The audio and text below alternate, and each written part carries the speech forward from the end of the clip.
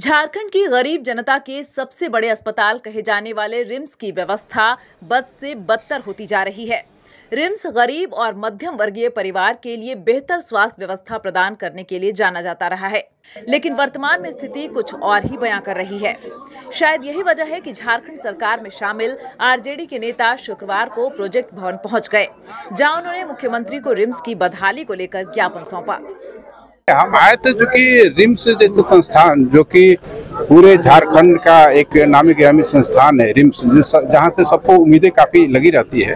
RIMS का मतलब बहुत बदते से बदतर हम लोगों ने वार्ड का दौरा किया वार्ड में घूमे क्योंकि हर जगह से लोगों का फ़ोन आ रहा था कि वार्ड का स्थिति ठीक नहीं है वार्ड में हम लोग को बढ़िया से बेड नहीं मिलता है लोग नीचे सोने को मजबूर है। तो हम वार्ड का दौरा किए वार्ड को जाके घूम के देखे वार्ड का स्थिति देखे वार्ड का स्थिति देखे कि मतलब नीचे में पूरा फर्श पे पेशेंट सोया हुआ है और उसके मुख्यमंत्री जी ने मुख्यमंत्री जी ने बोला हम इसको संज्ञान लेंगे। क्योंकि तो देखिए, हम सरकार में है तो सरकार में हमारा काम है सरकार को ध्यान आकृष्ट करना कि ध्यान उस पर आकृष्ट करना कि सर क्या हो कहाँ, क्या कमी है।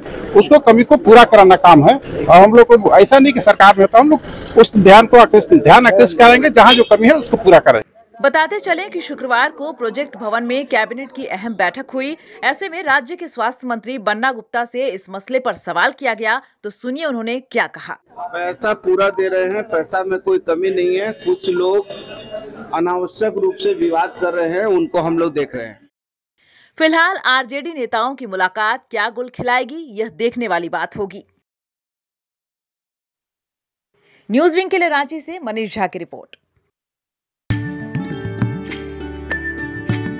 आइए दिए जलाएँ। इस दिवाली घर के हर कोने को रोशनी से जगमगाए और अंधेरे को दूर भगाए। हर घर को मज़बूत और रोशन करे इस दिवाली पर, सिर्फ़ टफकॉन के साथ। शुभ Diwali, Tufcon the only steel for tough construction